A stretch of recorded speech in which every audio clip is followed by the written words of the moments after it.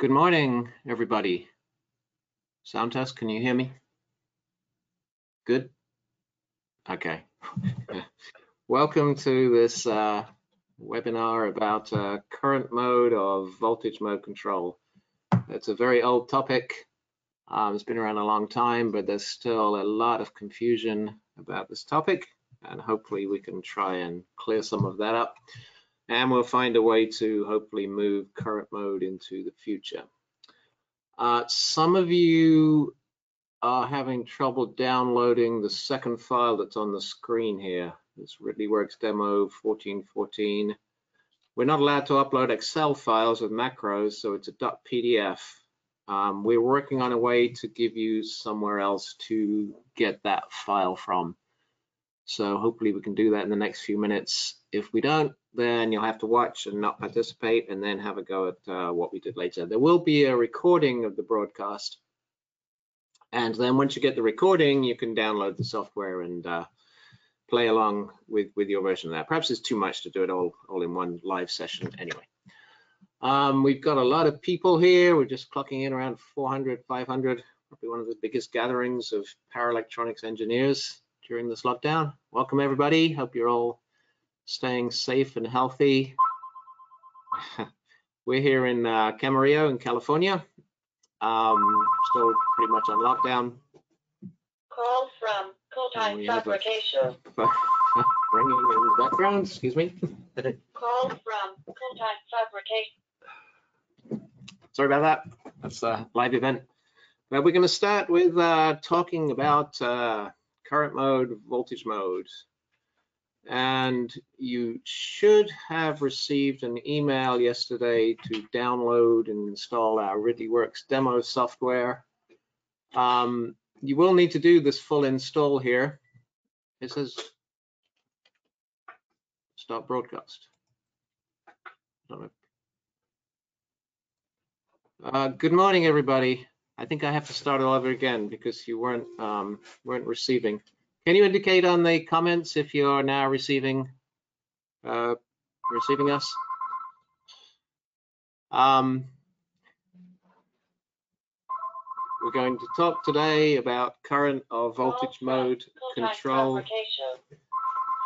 And I've got a phone ringing in my ear right now. This is a live webinar. Call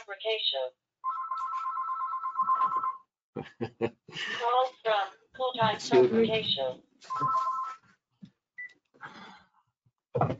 Right, there goes the phone. Uh, got 400 people online now. We're heading up towards 500. It's a good gathering of uh, power electronics engineers during this lockdown.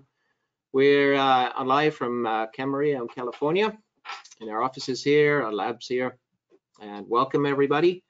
Uh, we're having a little problem with some of the downloads. The Excel file .pdf apparently is not working for everybody, so we hope to have a different option for doing that for you a little bit later. And let's move on to the next page. Here's, here's an instruction you should have received, and this is in your this is in your the download, the, the first download the PDF. You can click on these links to do the install of our software. Unfortunately, this morning somebody found a link in there wasn't quite correct, and it's not not clear whether those softwares will be working for you or not. So we're working on resolving that as we go through the presentation here.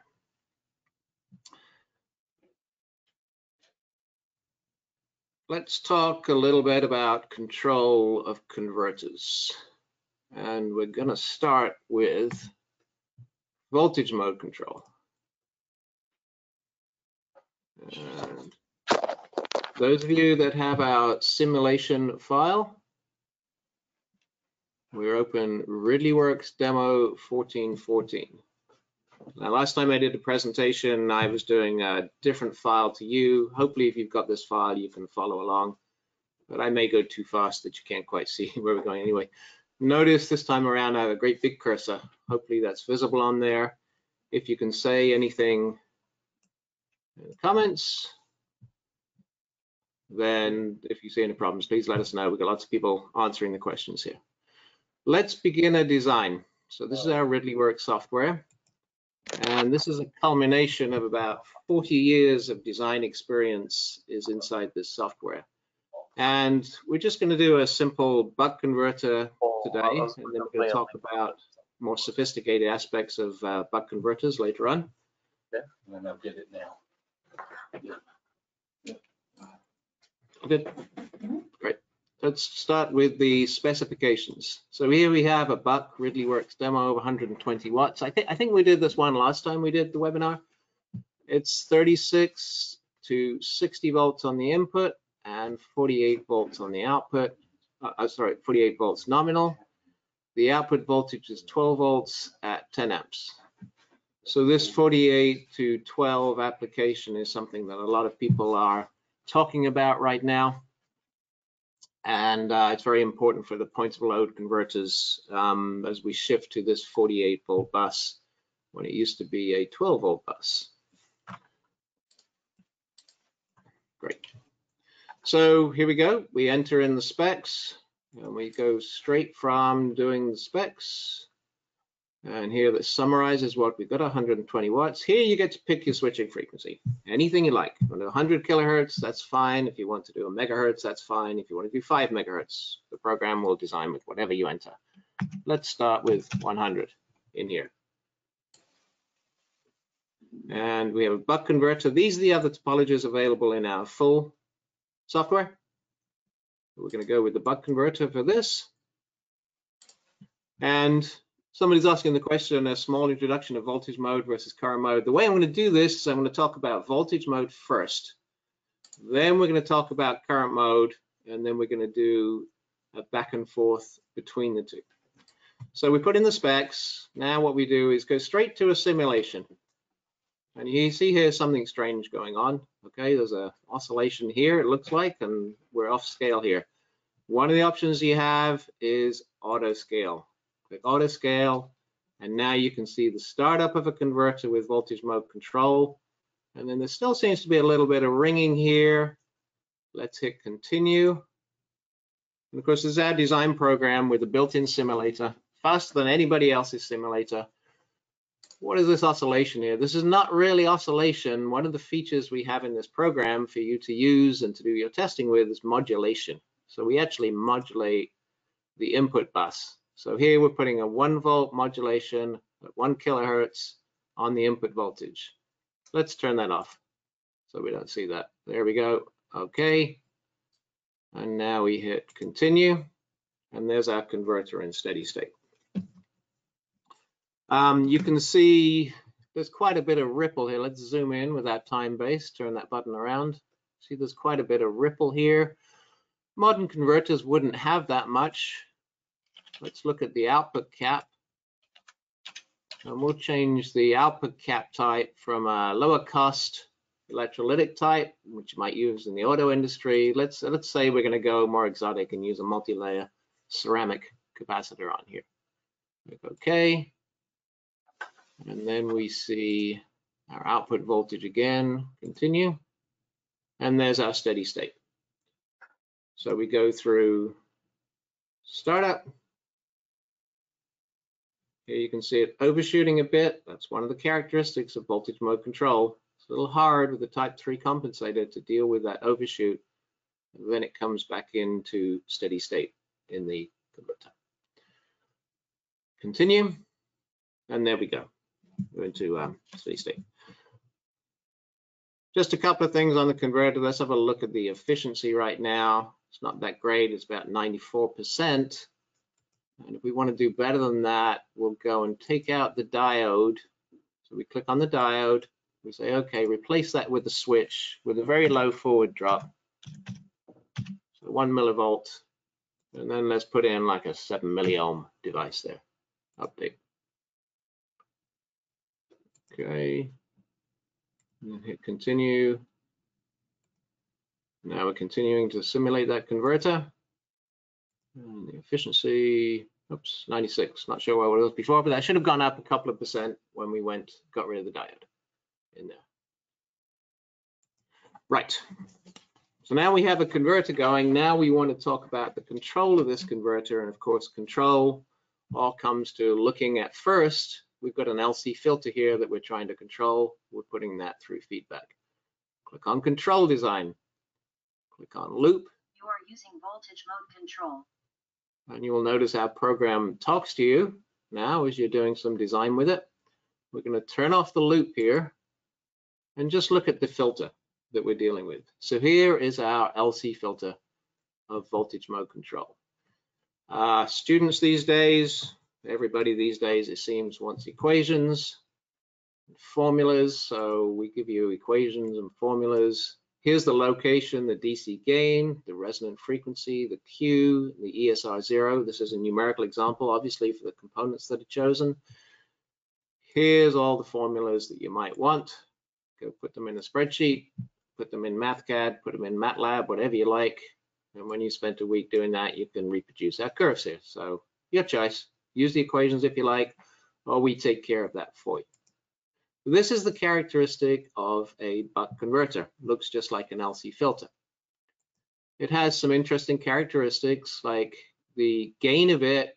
If I move the voltage up and down, let's go down with the voltage here. You see we put these little tweak buttons. You can see the gain of the power stage is shifting down. Right there. And it changes scale. So we can jump from minimum 36 up to maximum of 60 volts input. And the gain just moves up and down. The phase doesn't do anything interesting here. How do we turn that into a loop? Put compensation around it. So green here is the compensation. Around the resonant frequency of the converter, we put a couple of zeros, and then we put a couple of poles further out to make sure that the loop we get always keeps going down and it goes down harder than you'd want to from just a loop gain point of view, but we've got to attenuate the noise on this. We can't keep high gain going through this compensator of the system. So we just do visual shaping around here. Of course, there are equations that put zeros on top of poles. Um, Use this form to redesign the loop. so this is the way we design is we nudge poles and zeros around. You can push a zero and raise the gain on the left hand side there. I'll reset. You can push the poles and stop filtering quite so much at the high end to increase your phase margin if you want to. If you go a little too far, if you try increasing the gain too much here on the left, you see our red phase is dropping down a little bit. And if you get to the point here, we're looking at the phase margin where it goes below 45 Phase degrees, margin is less than 45 degrees. you'll get a warning from the program that that's happened. So that helps you out. There's a lot of numbers on the screen. So when there's something that you need to pay attention to, we give you a verbal warning on that too. Okay, not going to focus too much on designing this loop here. That's not the topic of this webinar. It's all about voltage mode versus current mode. But this is an optimally designed loop. This is how we would design it. Crossover frequency is about one tenth of the switching frequency. That's about as high, high as we can go. Um, we can shove the inductor around a little bit. If we push the inductor up, we see the resonance move. If there's any teachers out there, professors, this is a really nice program to use to show your students things moving live rather than static plots. So feel free to take this demo program and use it for your teaching. We'll be happy to see you do that. But we can shove that uh, zero around. We can change the power. So this is full power. You see, not much happens as the power goes down, except the Q here goes up just a little bit. So keep dropping down in power. See that Q gets higher and higher around that point. Whoops, and something happens. Those of you who know voltage mode control will know what's going on there is we're dropping into discontinuous mode. We'll talk more about that later as well when we talk about uh, current mode. Okay, so that's our loop gain and our power stage transfer function. Customer doesn't really care about the loop gain. He cares about output impedance or step load.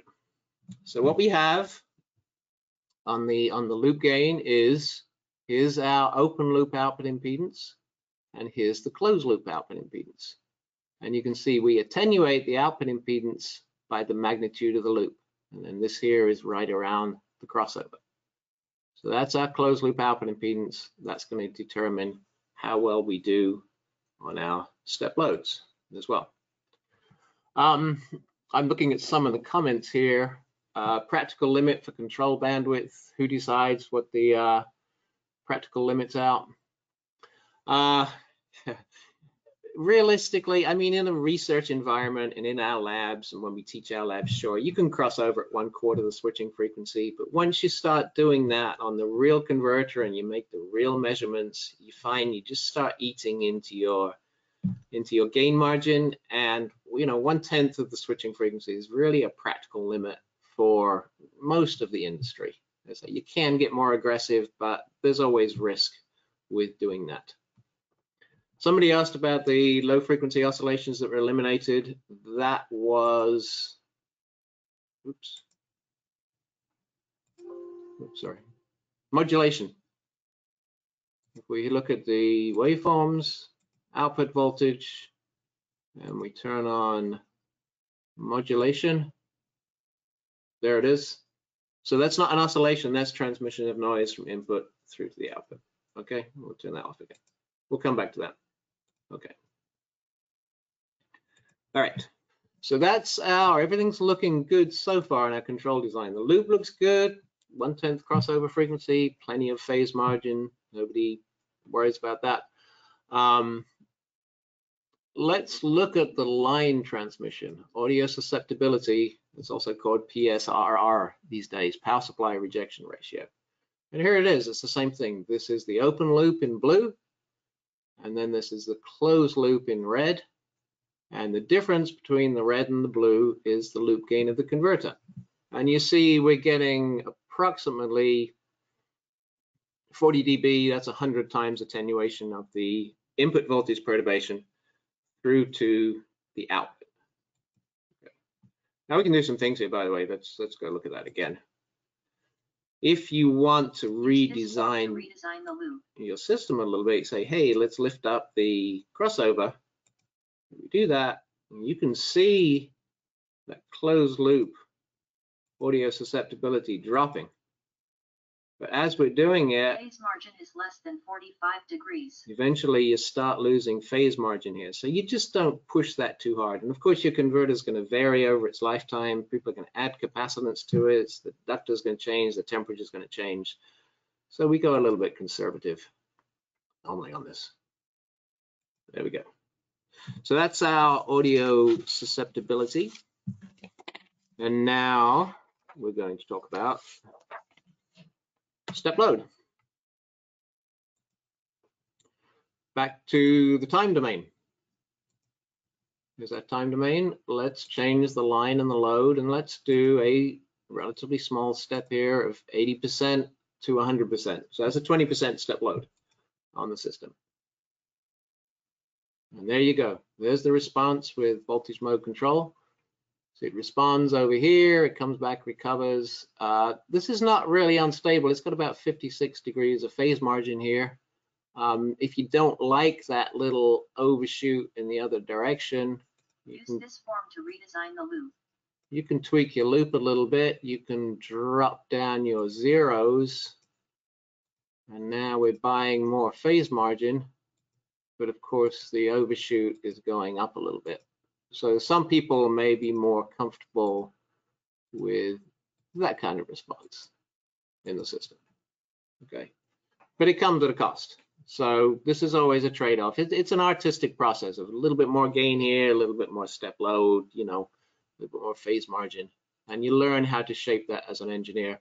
Uh, it's a bit disconcerting, I know, for some students that there isn't one set answer, but it all depends what the specs for your power supplies are. Now let's look at that power supply rejection ratio again. So let's get steady state. Boom. Okay. And look at our, back all the way to steady state. Now we're going to put this modulation on the input right here. Okay, it's coming through. And let's suppose you wanted to see not that frequency, you want to see 120 hertz. I'm not sure it's all going to fit on the screen. Let's update. There's 120 hertz modulation. So we'll hit continue. So now you know how much of the line noise gets through to the output. So this is actually 16 millivolts peak to peak of the noise getting through from the input voltage through to the output voltage. So that's the general performance of the voltage mode control. Everything's fine, everything looks good. You know, why don't why don't we stay with just voltage mode? Because it's easy. As digital control comes along and higher frequencies, switching frequencies come along, you know, it can be a little tricky to go to current mode. But if we're compensating this okay, then, you know, why don't we stay here? Let me have a little uh, look at your comments here. Somebody's talking about the audio. I don't think we have a second microphone turned on. There's only one person saying that. Loop gain in the Bode plot. Somebody's asking, what is the loop gain? This using voltage mode this is the open loop gain. Okay, that's just the power stage times the compensator in here. So I, I don't know what you mean by closed loop gain. That means the closed loop audio susceptibility or the closed loop line to output, uh, the closed loop output impedance where you divide by one plus G sub S, the loop gain. But we always plot the open loop gain. That's the one that gives us the most sensitive stability information. Uh, somebody asked, are we going to support the SEPIC and the Cuk? We might do the Cuk, uh, not the Cuk, we, we might do the SEPIC, we'll never do the Cuk. There's just not enough people build those. Um, and, you know, it's, it's a big investment to do another topology in here. Uh, SEPIC, if we do it, will be a coupled SEPIC. I have no interest in a non-coupled SEPIC. The, the control characteristics are not very good and the ripple characteristics. So you just couple the inductors together and it looks a lot like a buck boost in terms of um, terms of the control characteristics. And uh, that one is actually much easier for us to implement, but we may do it. We don't know. Okay. Four switch buck boost, we have that indeed. Yes. Do we have more topologies available? Well, you don't because we're a designer, so we have to know your entire circuit. If you want a new circuit designed by our program, then there's a big engineering investment to uh, to do that. Selection of control mode. All right, we'll talk about that. We're going to get onto current mode. Right, excellent. Okay, so that's that's our voltage mode control. Now, let me just point to one of the little problems that we run into when we're looking at the loop gain. voltage mode control. You know, I, I like to build tools that are going to be useful to me in a development and also useful to you. So we have this thing here where we raise the input voltage. So we go all the way up to max and we watch the crossover go over towards our target. Then we drop down to min again and we see it dropping down to about half of that. So we've got moving input line and then we've got moving power in here. Oh, I'm sorry. Yeah, moving power. And that shifts the queue a little bit. And, you know, going through all the permutations here, it's a little bit time consuming. So we've added a feature in here called the multi-loop sweep. If you click on that button, it's going to run through the permutations for you. It's going to calculate nine loop gains. And then it will present them to you. So this is our first, first uh, indication that things don't always look good in uh, voltage mode control. So we got all these curves here, which look good. They cross over a nice high frequency, 10 kilohertz. These last three curves at 10% load, we've gone discontinuous mode. So the system has a different phase margin, has a very low crossover frequency. It's hard to come up with a compensator that will take care of both voltage mode and, uh, I'm, I'm sorry, just discontinuous mode and continuous mode in a voltage mode converter. So that's one of the big drawbacks of voltage mode control. Somebody is asking about digital compensators. It doesn't make any difference. Does it make voltage mode control easier? No, it doesn't because you have to write a thousand lines of code to do the same thing versus hooking a resistor up. So it's just different. If you're if you're conversant in digital, by all means use digital. But life, no, it's it's exactly the same. At its best, Digital control will get the same performance as voltage mode as, as analog control, and normally there's going to be some phase delay in there, so you're going to lose a bit of phase margin in the system. But all my comments here, yeah, if you want to put digital compensation on it, click on that. There's going to be a delay. The phase is going to roll off a little bit harder. That's all you're going to see in our program. We, we don't get so much into digital control. There's just too, too many other things that we have to uh, deal with. Uh, Zeta converter, never seen one used except in research papers. So no, we're not, we're not going to do that. What we try to cover here is the bread and butter converters for everybody. Okay, voltage mode. Everybody got that. A little bit of a problem, discontinuous mode, but output impedance looks all right. Audio, 100 times rejection, that doesn't look too bad. Now let's go talk a little bit about current mode. And let me go to the next slide first. Start here. What is current mode? Well, instead of just sensing the output voltage and feeding it back through an error amplifier, we also sense the current in the circuit. That can be the switch current here where we actually put a current transformer or a resistor in series with the switch, or we sense the drop across a FET. And then we use the control, the, the current signal here as our, as our ramp signal in the converter. And then our error amplifier controls the peak of that current. So this is what was defined as current mode control when somebody gave it a name back in, I think it was 1978 when this first came out.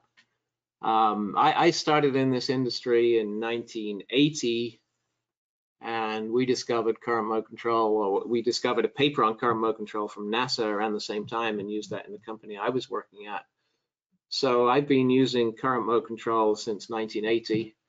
And I'll, I'll be honest with you, in a, in a production power supply, I haven't seen an LC filter response in 40 years. Because once you once you've done current mode control, you never you never go back.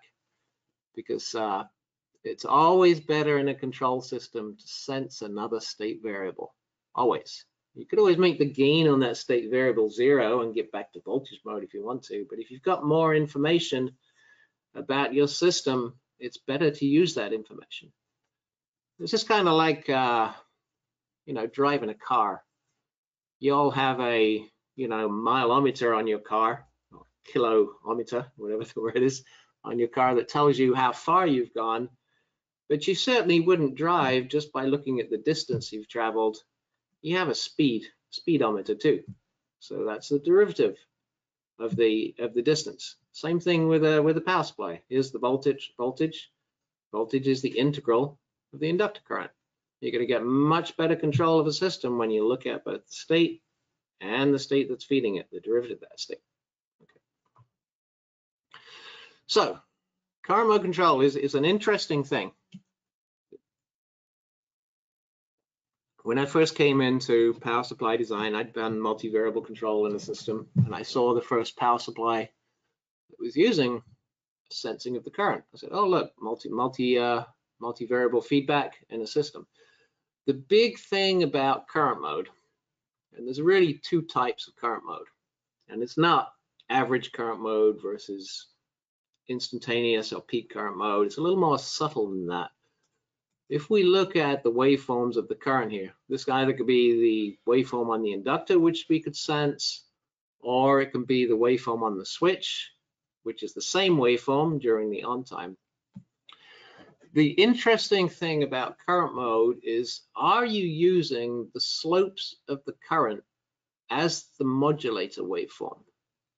And that's a really big and important question. If you just filter it all out and you average the current so much that you can't see the ripple anymore, you've done a lot of attenuation of that ripple. And then some people refer that to average current mode control, but a good average current mode control actually leaves the ripple in there because this ripple voltage that comes in is what gives us some of the really nice features of current mode control.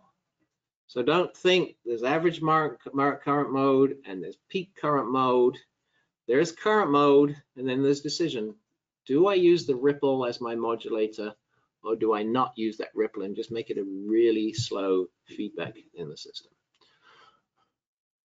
Isn't current mode control a loop within a loop? It is a loop within a loop, but again, you can get into a little trouble there. The crossover of the current loop is typically around one sixth of the crossover frequency, of the switching frequency, the crossover of the voltage loop is around one tenth. So you can't say it's embedded deep inside, you know, and the current loop is crossing over much higher. They're, they're in the same ballpark of that. Okay, so that's our current mode. And one of the big deals about current mode that everybody knows, I have a list of seven that we teach in our workshops, but you know, I don't have all the time to do that here. But this is multi-phase control, where you sense the current in each power stage and you control multiple power modules in parallel. So every one of them is going to current share inside a stack system. So if you need to provide, I don't know what the numbers are these days, a thousand amps to a processor, you can't do that with a single module. You do it with 10 modules at 100 amps. You sense the current and you control them all to the same peak current, average current, whatever you want to do, but you control the current and then the voltage afterwards. So everybody, of course, knows knows. Um, whoops, sorry, the multi-phase module advantage of current mode control. Does voltage bandwidth have to be lower than current bandwidth? No, it doesn't. They can both be the same. The voltage bandwidth could be higher than the current bandwidth, and the current loop is still going to push it up.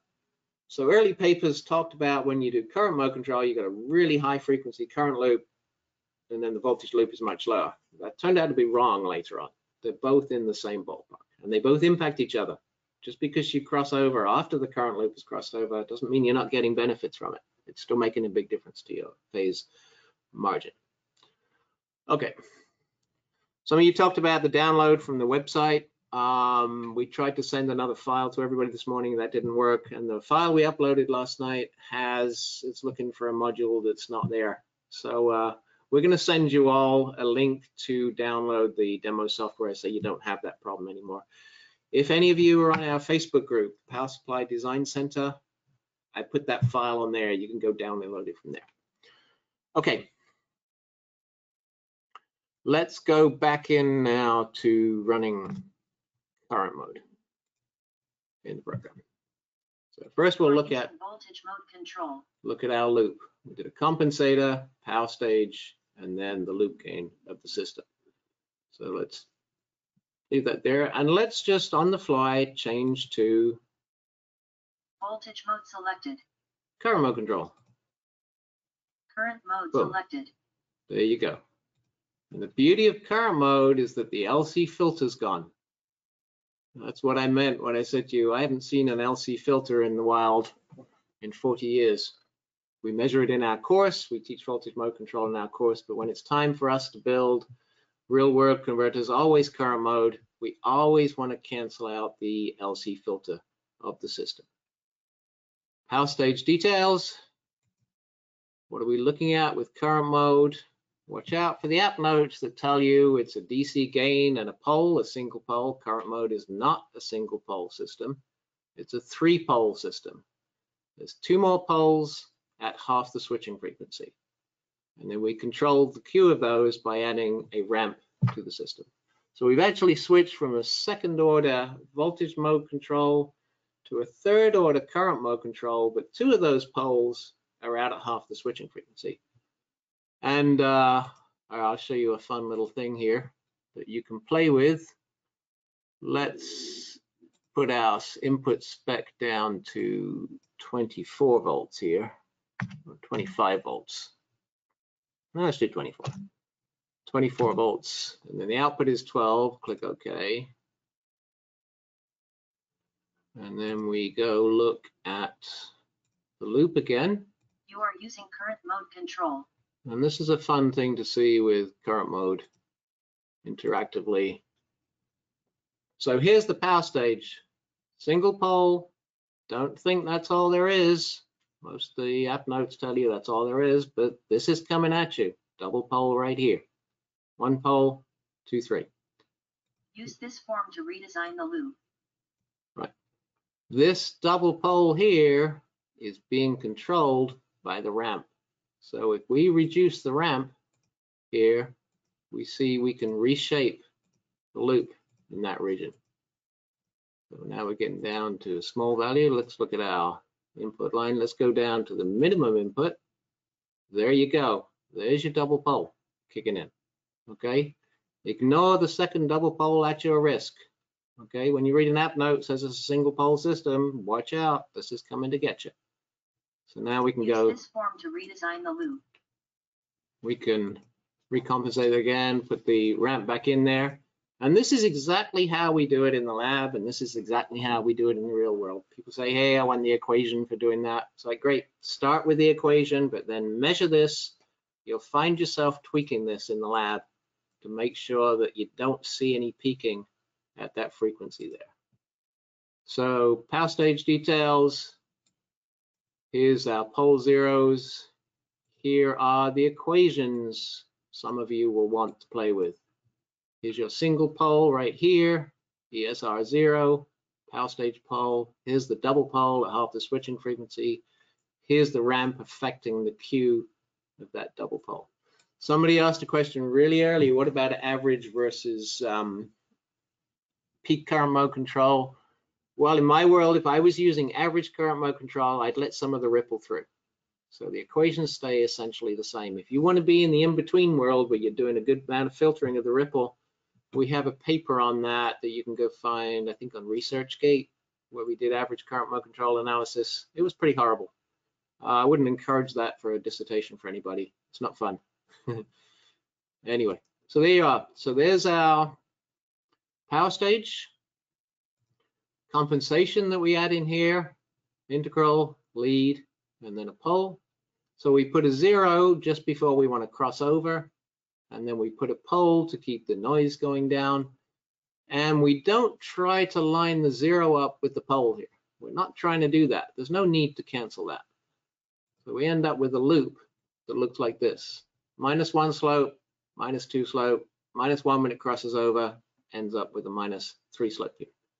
Okay. Can I please repeat what the power stage prediction is? Let's turn off this. This is what your power stage is going to look like. The theory. If you want to bring in some measurements from our AP310 or the Ridley box, you can overlay it on top of this. And then, of course, we all know measurements never quite come in like predictions. You can you can work with the measurements instead of the predictions. This is the prediction, three poles. Here's the transfer functions for you. Okay. All good. All right.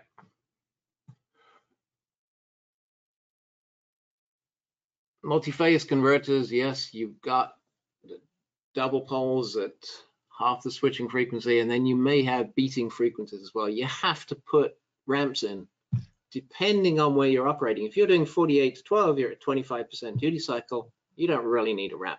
If you're getting close to that 50% duty cycle, the ramp has to go in there. And uh, that gets us to our loop gain. Now, here's the fun thing with loop gain. So instead of me tweaking the voltage up and down and the load up and down, let's do that multi-loop thing again, where we go over the full, full variation range for current mode control. Uh, seven loop gains plotted, nine loop gains. There you go. All right, once you've seen this family of plots here versus what voltage mode did, where the gain collapsed at DCM, that will be the last time you use voltage mode control. Doesn't matter, even if I go discontinuous, all these curves come in together. And then the crossover here just clusters fairly close to each other, but you know, CCM current mode is a single pole system, then a double pole. Discontinuous mode current mode is a single pole system, and the double pole goes away. So it's always looking at lower frequencies like a single pole system. So that's one of the beauties of uh, current mode right here. Okay. So there we go versus the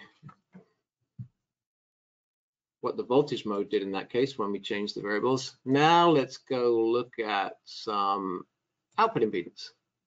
Here's my output impedance current mode.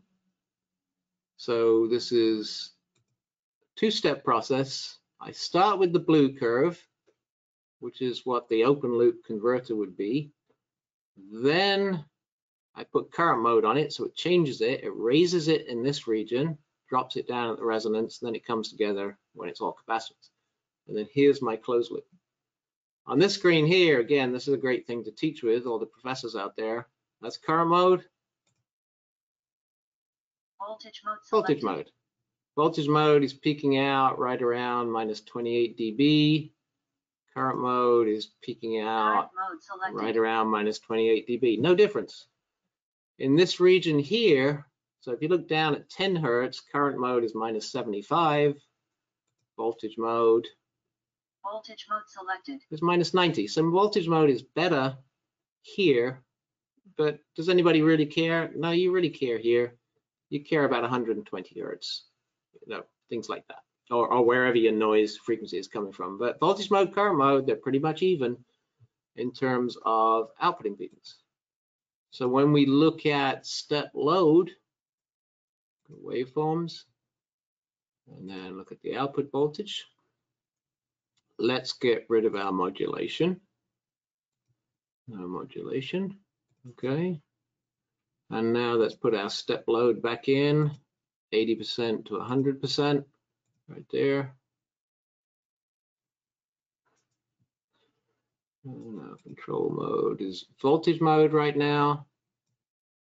So let me fix the scale and go, Voltage mode selected. that's voltage mode, current mode, Current mode selected. voltage mode, Voltage mode selected. current mode. Current mode selected. Okay, not sure. Oh, I I know why there, because we are at the low line. And you notice there that current mode does much better than voltage mode. But that's because I go to the control design again, are using current mode control. put that back to voltage mode. Voltage mode selected. When I've got 24 volts on the input, I'm crossing over down around 5 kilohertz. If I go up to the maximum input, the loop changes. Great. So now if I go to the waveforms again, there's Voltage mode voltage selected. mode, Current mode current mode. selected. Oh, current mode's still doing better on us. Okay, that's a bit of a surprise. I'm, I'm not sure what I'm changing there. Maybe, maybe my res, sorry, I think my vertical scale is changing. Control mode, mode. Voltage mode selected. it's not that. So even though we're looking at our, our small signal transfer functions, we're getting things going on here that we didn't expect on the step load. But you know, neither of them are too bad. Let's go look at the power supply rejection ratio. So, sorry, turn that waveform on again, go to steady state, and put some modulation on the on the input. And okay, let's go voltage mode, Voltage mode selected. and let's change our modulation to one kilohertz. One, two, three, update. Okay, there's the noise that's getting through voltage mode control. Change it to current mode. Current mode There's the noise that's getting through current mode. Okay, big, big difference. Output impedance, not such a big deal. Noise rejection of the power supply, selected. huge deal with current mode. Okay, huge deal with current mode. Increase the ramp, Right. show it reverting back to. the Oh, yeah, I changed, I changed something in there, didn't I? Yeah. Obviously, I'm doing a lot of things here. When you do voltage mode versus current mode, the comparison of that step load is pretty similar, actually. All right, let me, uh, let me look at a couple of questions here. Why is output impedance important? Because that tells you the step load. So you want to see that full output impedance, it'll tell you what all the step loads will be that you might apply to it. Most voltage mode controllers, no, I won't say have feed forward in them to improve the PSSR, PSRR. Indeed, they do. So let's do voltage mode control now, Voltage mode selected. and let's do voltage mode with feed forward. Feed forward. Ooh, Voltage mode selected. Look at that. Voltage mode Voltage mode selected. and feed forward. Feed forward. Voltage mode selected. And let's auto scale, fixed vertical, let's do that again. So there's voltage mode Feed forward voltage mode selected. and feed forward voltage mode and current mode. Current mode All right, so current mode wins there still. It's still about three times better. But here's my thing about uh, feed forward voltage mode. First of all, most controllers don't do that. Most controllers just do normal uh, voltage mode control. To me, voltage mode control with feed forward is half-baked current mode. You're grabbing one voltage that you need not the other one. And that's where things miss a little bit because when I go voltage mode with feed forward, so, and then I do my multi-loop sweep again.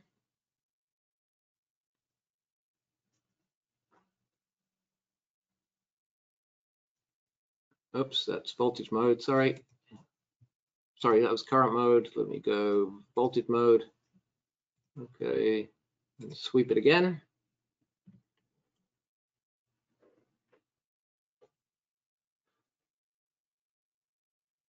Nine. So what we achieve with voltage mode feed forward is that the continuous mode all stays the same gain, all stays the same crossover. Great, that's an advantage of feed forward voltage mode. Discontinuous mode still doesn't work. Okay, so that's why I say feed forward voltage mode control is just kind of half-baked current mode. It's doing part of the part of the solution, but not the whole thing. You still got a resonance to deal with. How much Q you're going to have there? How much is your phase going to drop during that? It's going to change as you operate the converter. It's going to change with temperature. I don't like LC filters. I like to get rid of them with the current mode control. But yes, voltage mode control with feed forward is a step in the right right direction. Let's have a look. What questions? Is there an application where voltage mode could be advantageous? We're going to talk about that next. Let's go to one more application here, back at waveforms. Ah, said I changed the ramp, right, John?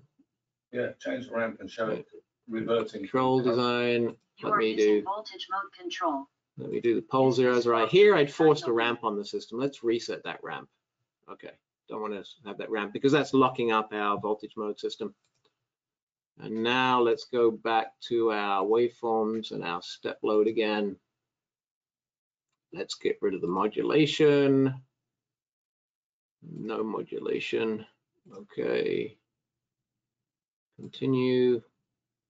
Step load. Right there. Oops. Auto scale. There is Feed forward voltage mode selected. There's feed forward voltage mode control on the step load. There's regular voltage mode Voltage control mode on the step load, which is bigger because there's less gain. And then there's Current mode current mode. Okay, there you go. So voltage mode, Voltage mode selected. current mode, it's the same overshoot. It's a, it's not such a nice characteristic afterwards. The current mode is nicely damped. Voltage mode is not. Okay. Voltage mode But you know, not enough to change your control scheme just based on the step load. All right, here we go. Now let's do a bigger step load. So let's step from 10% to 100%. Whoa, what happens there? So this is our voltage mode being stepped upwards. And then this is the voltage mode being stepped downwards. So you see very different responses here and here. This one is stepping into discontinuous mode. So this is not good, everything that's going on here. We don't, we don't like this. So voltage mode just doesn't do well with that bigger step load. Let's hit that with current mode. Current mode And selected. there you go. Oh, change, scale change there as well. Let's uh, go back to voltage mode, Voltage mode selected. right? Fix the scale and then change to current mode again. Current mode selected. All right, current mode, voltage mode. Voltage mode selected. Okay. So current mode is handling this large signal transient much better. And that's all about the wind up of the uh, type 3 compensator. It just can't slew fast enough. So it's not about the small signal. It's not about a small step load. The big step load is much more important when comparing current mode and voltage mode. So when you see these theoretical papers saying, well, current mode, voltage mode, voltage mode is better on output impedance, it's like, no, it's not actually. Because when you do large signal steps, current mode wins this one, hands down. Okay, So that's that one. Now, let me look at a couple of questions here. So many questions. Can you highlight some, John? Sure. All right, adding a cap bank to the load, does that help? Let's go back to current mode. Current mode selected. Okay. If I don't like this overshoot, 12.4 volts, you know, it's too much, just bump your capacitor up. Of course, that's exactly what we do. So we bump the capacitor up. Now, this is something that's fun to do in our program because every time I bump this capacitor up, I redesign the compensator. You got to design all the R's and C's of the compensator. Then you simulate. If you try doing this in LTspice or SIMPLIS or PSIM, whatever you're doing, you've got to increase the capacitor, plot the control to output, redesign the compensator, and then come back and run a simulation again. So you've probably got about a 20 minute turnaround time in doing that. In here, you can determine what's the output cap that I need to get the step load response that I really need. And Do it really, really fast. Let's reset that back to the beginning. Okay. All right. Now we get on to the good stuff, right? You can read all this, you know all this, hopefully many of you.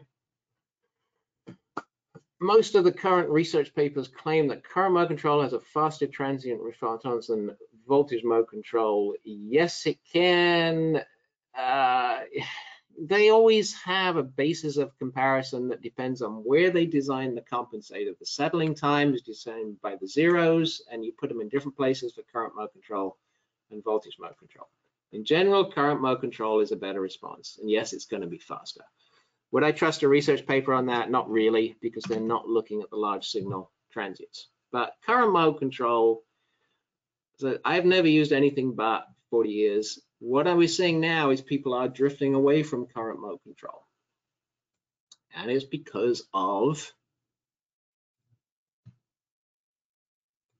all this GAN stuff coming on and high integration and point of load. So what we have in our, let's see, hold that up there. Here's my little GAN circuit here.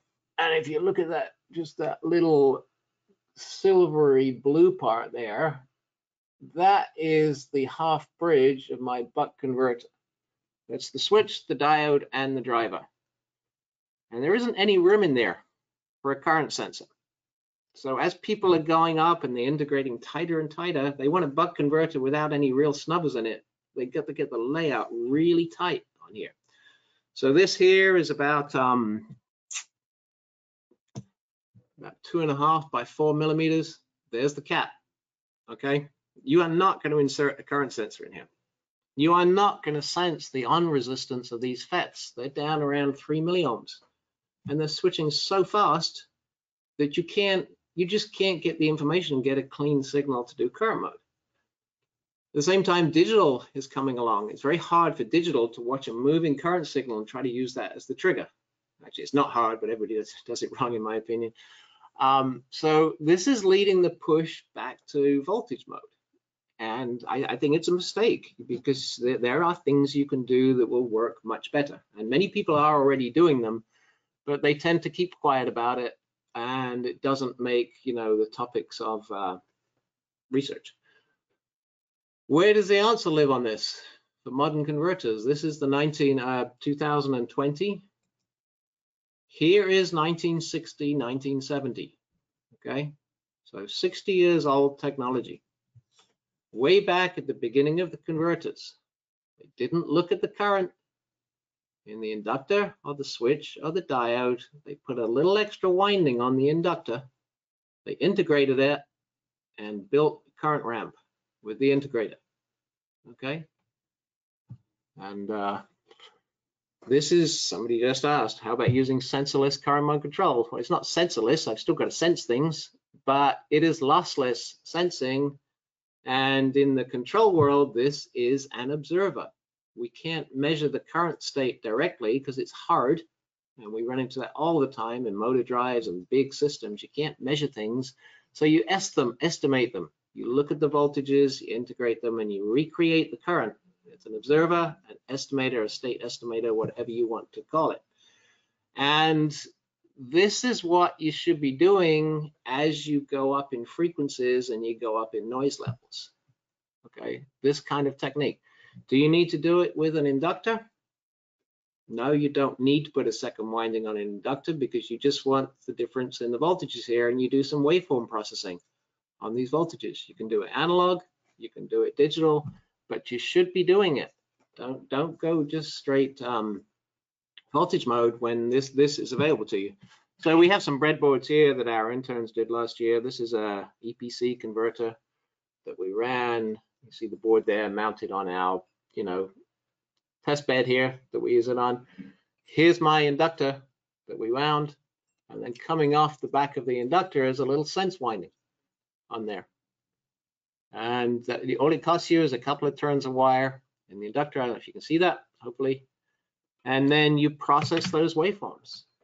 And there's many, many different ways to process these. I think over the last 30 years, we have uh, we've advised about half a dozen companies on how to implement this, all the way from you know IBM mainframes and servers back in the 1980s to um, Class D audio amplifiers. You know, there's many, many applications where people need to implement current mode and they don't know how because they don't know how to sense it. This is the way you do it as you go higher in frequencies. And I have at least 20 different implementations of these. Now, here's where you see, okay, here I'm feeding forward the voltage on that inductor and then the output voltage. And the difference between the two is the voltage on the inductor. That's why I say voltage mode feed forward is just grabbing one of those nodes and not the other one. It's not processing the waveform properly. So that's what I call my half-baked current mode control. It's doing half the job, it's not doing the other half of the job. Okay. Now in other fields of uh, control, this is this is common, very common to do this kind of thing. In power electronics, uh, power supply design, it's less common, and it's because we've got this complicated thing where we're using the ramps to be the modulator. We're not just sensing things slowly and bringing them back down. Okay. All right. If you want to read about all of this, I probably have the dubious claim to fame of having thought about more about current mode than anybody else on the planet at this point, starting way back when. First, you can download our book, which is the full analysis, which I did in 1991.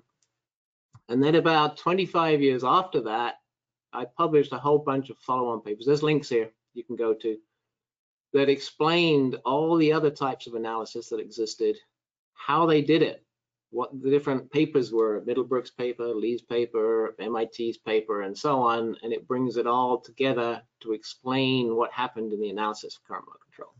Okay, you don't really need anything else. Nothing's really happened, you know, since all this work was done. You know, I worked with Vorperian on getting the model, and everything's being pretty set. What's new is what is old. It's the AC sensing of current mode, integrating of waveforms, and so on. Um, are there other ways to sense the current? Yes, of course there are. There's the DC resistant current sensing for a high current application. I hate that because it's a really, really tiny signal with a really, really big offset and you're trying to regulate things really, really tightly. Sometimes it's all you got. So you will see that. I wouldn't recommend you have a resistive sensing and then try to use the waveforms to get true current mode use that resistive sensing perhaps to get DC sharing, sense the current like this to get the AC sharing. And there's some chips out that do these kind of things. You never know what they're doing inside the chip, so I, I don't know if they do them right or not. But no, D DC, uh, DC sensing is is there's just not enough signal in there. Um, inner, average, and out of voltage loop control. As I say, average current mode control, you should let the ripple through. It's basically the same. If you do good, a good job in average current mode control, it should look like peak current mode control. You should get the same bandwidth as peak current mode control. Okay, so there's no difference. So our program, when it's doing this, it's assuming if you're using average current mode control, you're doing it well. Okay. All right. If you want more information, we will send you all the link to download the demo program that works, that doesn't have the little bug in there we have. Say if you're on our Power Supply Design Center group on Facebook, you can download that file right away. It's, I put it up there this morning, you can go get that. And four and a half thousand people are on the uh, Facebook group. So please, please come join us on that. But you can get the demo of this and run this yourself. Uh, obviously everybody, we, we run workshops and, um, you know, th- this is nice doing the webinars here, but I can only give you theory. I can't give you hardware to play with. Everything changed when you measure the hardware. And then that's why we have our power supply design workshops. So we go through the theory, we look at the software, then we make measurements on the real converter. And then you say, okay, what do I do now? Do I refine my models? Do I live with the measurements? That's one of the reasons we still do a lot of measurements. Okay, we have frequency response analyzers, of Ridley Engineering, AP300, and the Ridley box now available. Uh, Facebook group, please come join. Lots of people are there. I know it's Facebook, people don't like it, but it's okay. Facebook is all right for groups, really good groups, good discussions going on there. Free book, go get that. And come join our design center. If you go to the Ridley Engineering website, you go to the design center and there's almost 200 articles there now. All of these webinars will be available on the um, on the design center, and you can come uh, come get those after the event. You can also download the software. We'll get the uh, the fixed version of the software that's going to run for you as soon as this webinar is over. Uh, lots of you ask about Ridley box coming out soon. We first orders are shipping actually next week on this. And there's a lifetime license for Ridley Works. It's a four channel frequency response analyzer. It's a four channel oscilloscope and it's got an embedded computer in there. Everything you need, just add a screen and a mouse. And this whole presentation is actually running from a Ridley box right now. So we're using the computer, it's got an internet connection on it. So, you know, when you add up all the parts of the Ridley box, you're actually getting a free frequency response analyzer. So it's a great deal.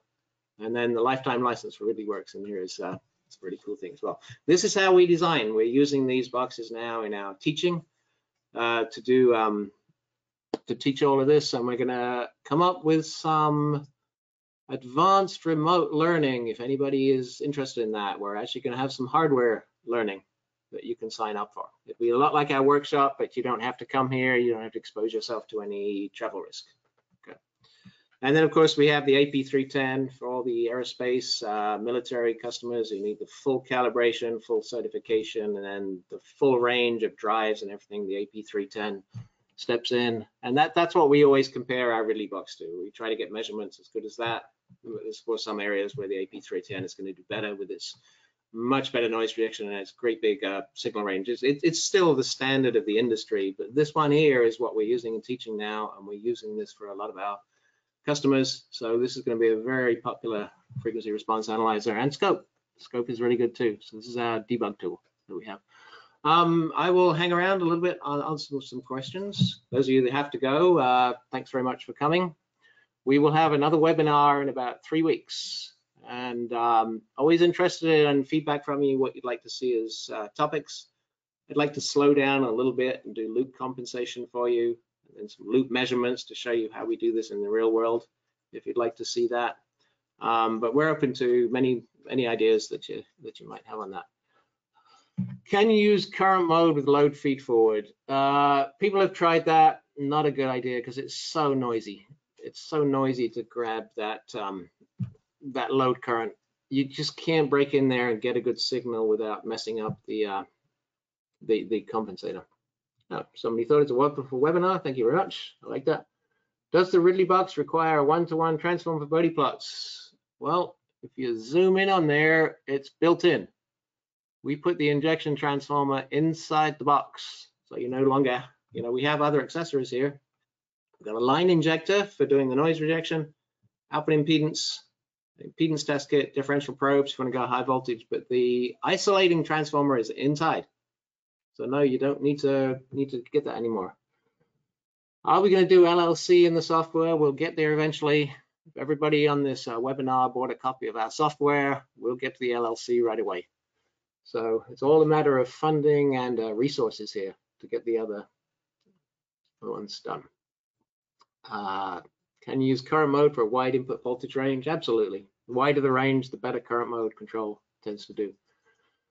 Hall effect sensors, sure, they'll give you DC information, but if you can build an observer and process the waveforms with no loss and no parts in there, why, why wouldn't you do that? Um, Non-linear control for DC to DC converters. What's my opinion? Every controller for DC to DC converters is non-linear. So does the software that costs 2400 come with the box? That's the RidleyWorks software. Yes, look, lifetime license RidleyWorks in the box. So it, it doesn't even need to go online and do verification. We do a manual install on these boxes. So if you're inside a lab and you're not allowed to be hooked up to the internet, doesn't matter. We can, uh, you know, the RidleyWorks will still run in there. So yes, that that software is is in there. Is there a downloadable user manual for the Ridley box? Yeah, working on that. It's uh, it's being written as we speak. It will be shipped next week, so it will be done. Gosh, a lot of questions here. A lot of questions. Am I going to do a webinar on digital control? No, go to Hamish Laird for that. He's the world's expert on digital control. Uh, I'm too busy with all the analog issues. But remember, when you build a power supply, you've got to make the analog part work first. Then you put your digital on. So most of the power supply stays the same. Digital is not a big deal. When you look at your circuit, you've got one control chip or a different control chip. Input output signals are the same. So, you know, programming a digital is not my thing, never will be. And, uh, you know, I, have done it, but uh, doing production code on that is a lifetime's endeavor. So I leave that to the to the experts to do. Normal Bode box only gets to 100 kilohertz. Impressive means 20 megahertz. Thank you. I don't know what you mean by a normal Bode box. Our uh, our uh, AP310 goes to 30 megahertz and it goes down to 0.01 hertz. So this one will only do one hertz. Struggle. Uh, all, all of these sampling type FRAs struggle with low frequencies. So we do a good, really good job down to one hertz. Going down to 0.01 would not be possible. It's just too much data to collect with the scope. It's just different processing, the waveforms. How do I compare second file? Why not tantalum caps? Sure, tantalum caps. If you want tantalum caps, you click on the output capacitor, you fill in the capacitance and the ESR, and then you've got your tantalum capacitors. I try not to use tantalum too much because they do have a tendency to catch fire sometimes. And uh, most of our customers don't like that. But have I done them before? I have. And it's just it's just another capacitor. Uh, voltage mode, current mode. Please go read the dissertation if you want to see voltage mode versus current mode. I'm only on the first page of questions here. It's, it's overwhelming, right? It is overwhelming. Yeah, Yep. yeah. Send us questions. Um, please, please come join the Facebook group. All these questions are good for the Facebook group. Okay, you've got 4,000 experts on there, and they will help you answer all of this.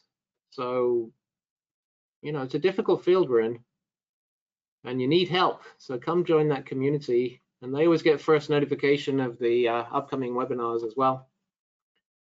In multi-phase, do we sense just one converter and control all of the others? I've seen everything done. Um, there, there are so many different ways of sensing current mode control. You know, if, if you have a specific need and a specific project, you know, we can help you with that. You know, we do a lot of consulting on that, and we help people out with getting that that done. Do inverters, UPS, common use, common common mode control?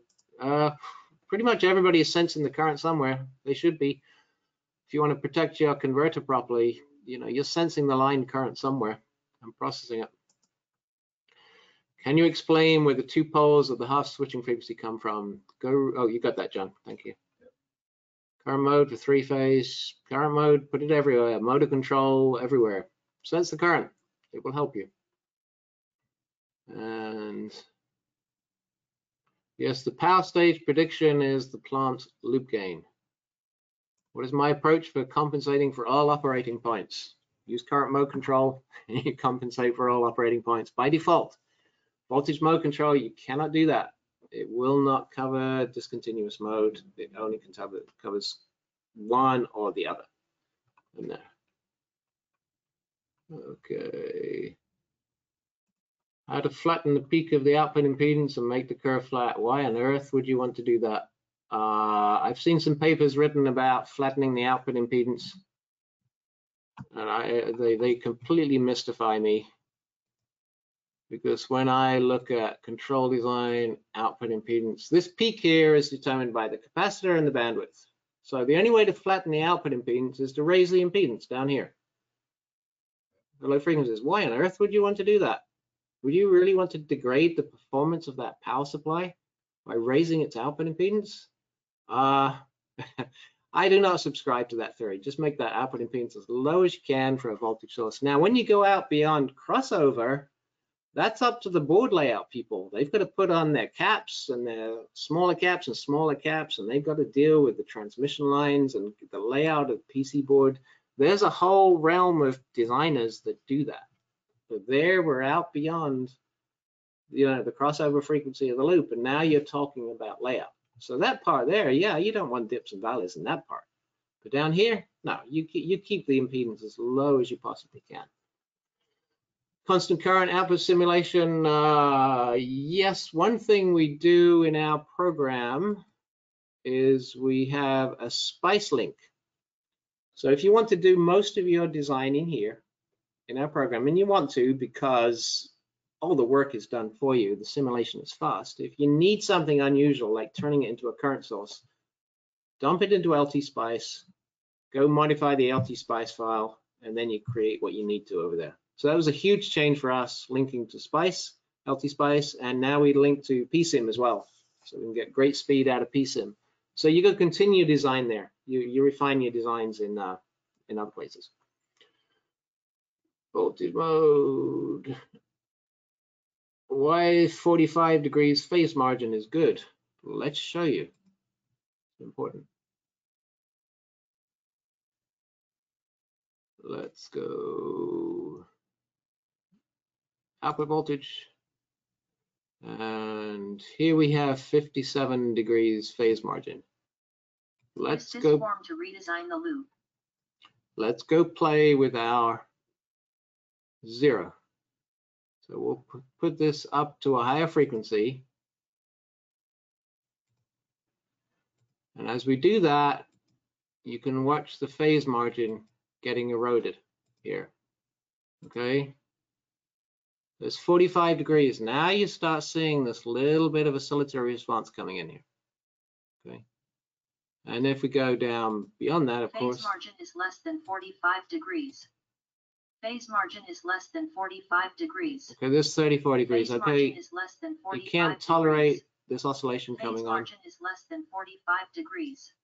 By the way, that Phase gets, margin is less than 45 degrees.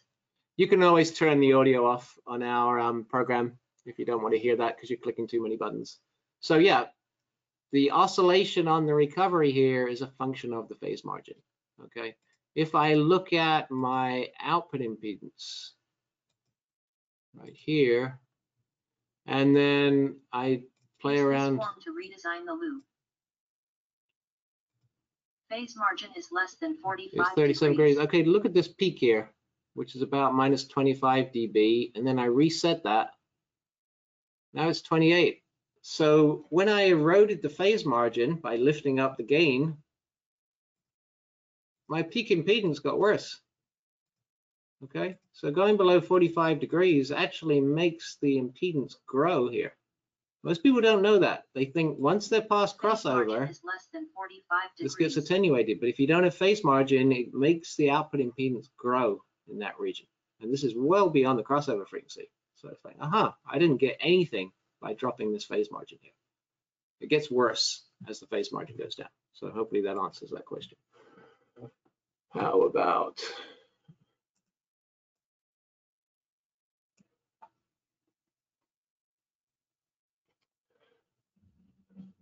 45 degrees in time scale, we've just seen that for correcting response.